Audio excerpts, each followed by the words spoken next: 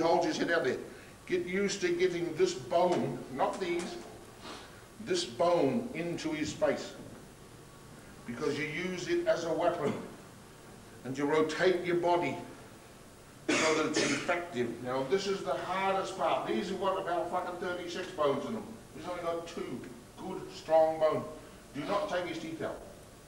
Touch. As he comes. Touch. Touch. Touch. Do you understand me? Because we're starting to do this, which fucking beheads them.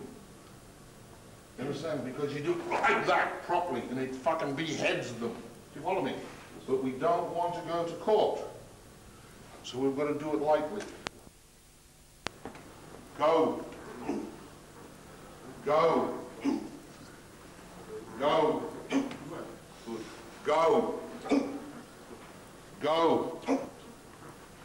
Go.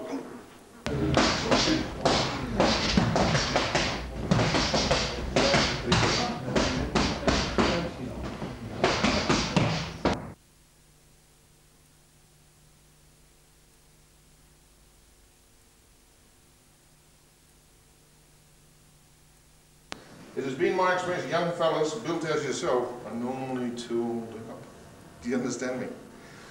Fellas John size are normally too up. As a matter of fact, I've seen fellas John size, he's four foot fucking whatever. I've seen them bring the most ginormous gear out of their co-pilots, understand me? By which I'm usually grabbing my mate and say, yeah, I'm off to the piss house. Understand? Right, now, Steam it up a bit. Go, it's beautiful. Can you understand me? Now you got him. He's a nice bloke. I'm trying to teach him to be a real nasty bastard. You understand me? But you got him. You follow?